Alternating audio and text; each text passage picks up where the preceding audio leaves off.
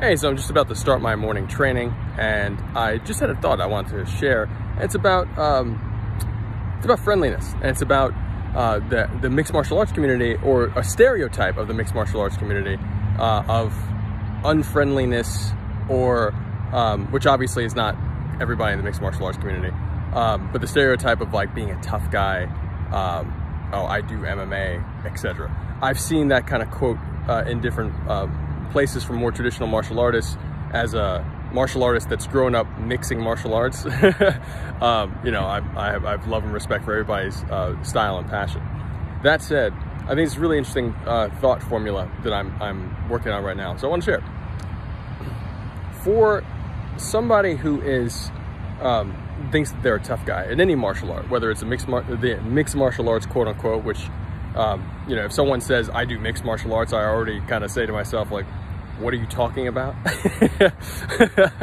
like, what is your discipline and what is your path? You know, um, I mean, MMA is a, is a sport, and it's and it, uh, you know, but but the sport is, is, just like Muay Thai is a sport. You know, Muay Thai is based on Muay Boran. Mixed martial arts is based on multiple disciplines. And what discipline do you find your home in? Um, my point is the friendliness. And when I have experienced, um, the, the, uh, uh, there's a guy here at my park, this park right here, who I see every morning. And, you know, he's, he's got, he might not be an MMA guy. He, he looks like an MMA guy. He might not be an MMA guy. Um, I say hi to him every morning and he says hi back, but it's, it's, it's like a, uh, a task for him. You know, he's not very openly friendly. Uh, and he normally sees me training while he's walking his dog. Uh, he's got his tough guy walk on. he may not do martial arts at all, but he catalyzed this thought. And the thought is that if you are unfriendly with somebody because of your perceived status, and this can apply to anything, but I'm talking about martial arts right now. One of the things that I think is helpful to contemplate is death, your death. And to think about anyone that you've seen dying and their fear, if they've had it, which is probably rare if you've seen people that don't. And that fear of death, if you believe you are a tough guy, that that fear of death can't be considered weakness. if you are truly about removing the weakness from your sphere, then, and that's not to say that fear is, is, uh, well, fear is weak. I, actually I am saying fear is weak.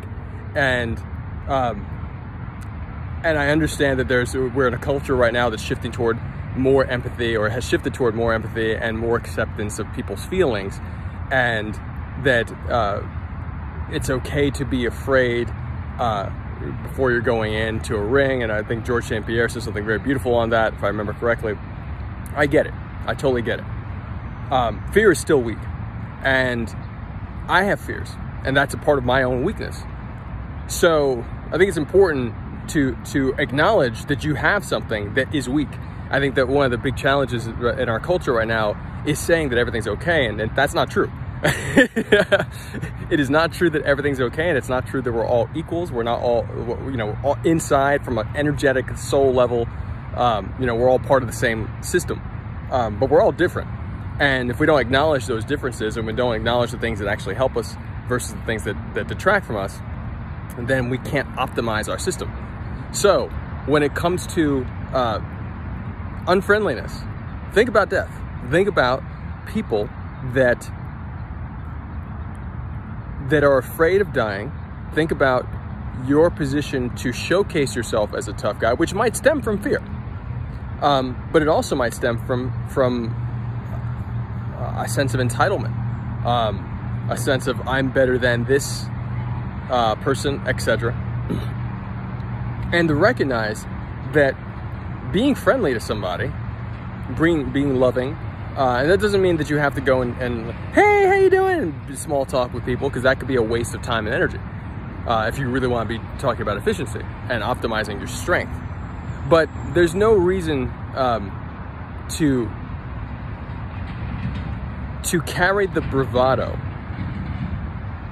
that uh, a particular, whether it's mixed martial arts or, or a particular style, might have um, in in around uh, when people are attempting to be uh, loving and good to you.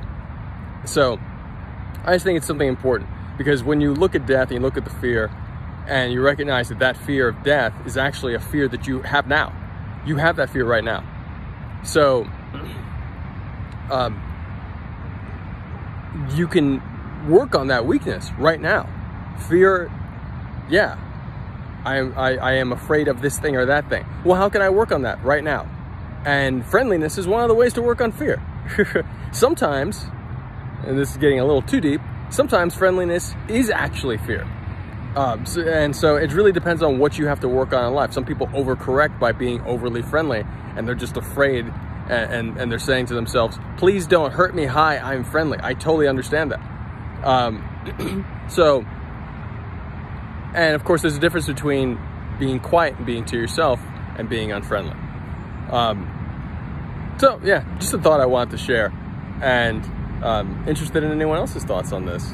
Um, but I, I, I, stand firm in the conviction that fear is a, a trait of weakness and that um, it's okay to be afraid as long as you acknowledge that it's something that you need to work on. Um, and you know, I am not a, uh, I, I, am not in this in the spectrum of saying that there's happiness and sadness, and those are the only two ends of the spectrum, or you know, what happiness on one side, sadness on the other side, or or like good on one side, bad on the other side. Like eh, we're always in a trifecta. In the world duality, you it, there's there's a there's a point above the the, the left and right, um, and that's equilibrium. So finding your equilibrium, um, so that you're above happiness and sadness, you're above.